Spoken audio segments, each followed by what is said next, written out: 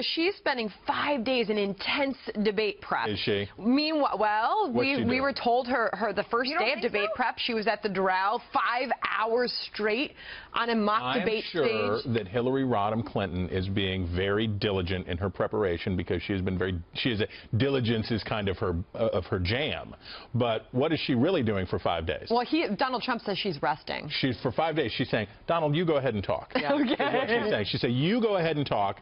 I'll see Right. you in Las Vegas, and then we'll chat again. And that's what he's been doing. He's Exactly. been holding rallies all along the East Coast.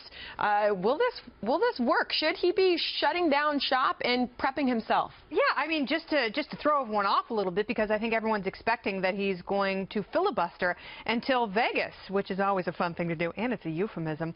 Uh, but I, I think that Hillary Clinton in her debate prep, right, is not only uh, trying to prepare for Donald Trump and the blitz that uh, perhaps might be coming for him, and who knows what we'll see 90 Okay, minutes before the debate. I also think that she's prepping for Chris Wallace. I honestly do, She better. because she has not had Yeah, that's questions like the, better. the kind that he is going to pose to both candidates. she better pack a lunch. They both better because I, I want to make clear they have not faced a challenge like this.